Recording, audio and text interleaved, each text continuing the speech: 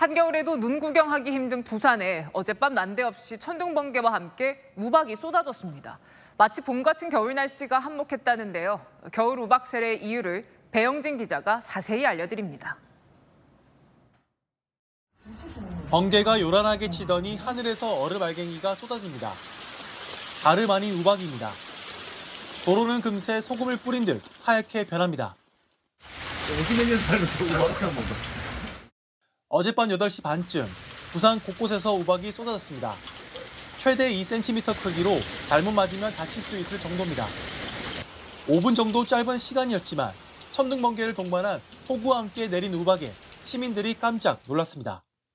제가 여기 60년생인데 이때까지 한 번도 이런 일이 없었는데 엄청나게 내렸습니다. 한 강아지하고 산책 가다가 맞았는데 강아지도 너무 놀라고 저도 너무 아팠어요. 막 이렇게 건물로 뛰어 들어가서 다행히 우박과 관련한 피해는 접수되지 않았습니다.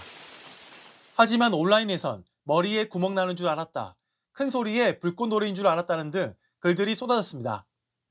봄, 가을 주로 발생하는 우박이 겨울철에 내린 것은 이례적입니다. 기상청은 대기가 불안정해 갑작스럽게 많은 우박이 내렸다고 분석했습니다.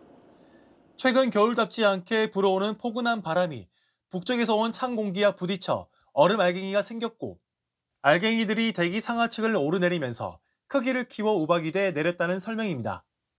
지상의 기온이 15에서 16도 내외로 좀 평년보다 한 3 내지 뭐 3도 이상 좀 높은 편이었고요.